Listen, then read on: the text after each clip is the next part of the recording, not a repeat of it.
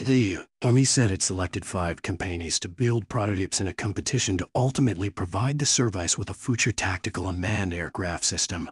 AeroVironment, Griffin Aerospace, Northrop Grumman, Sierra Nevada Corp., and Textron Systems were each awarded contracts between $1 million and $25 million to participate in five development phases and four option periods over the next three years. According to a Feb 20 odd Army statement, the Army began considering requirements for a replacement for its Textron-made Shadow drone in 2018 and by 2019, it narrowed the pool of competitors to a Martin of Northrop Grumman team, Textron Systems of 3 Harris Technologies and Arcturus of Kiruvu big, the service valued the four drone offerings over a year with operational units, culminating in a spring 2021 rodeo at Fort Benning. Virgil, the Army awarded a Rover an $8 million contract in August 2022 to provide the Jump 20Us as an interim fuse capability that will go to single brigade.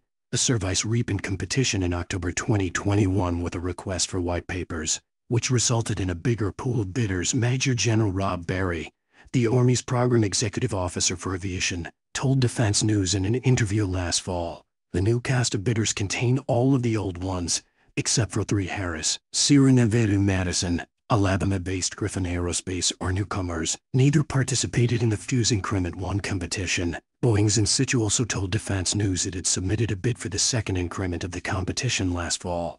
The Increment 2 effort will include a series of design reviews through the base period of the contract and two option periods.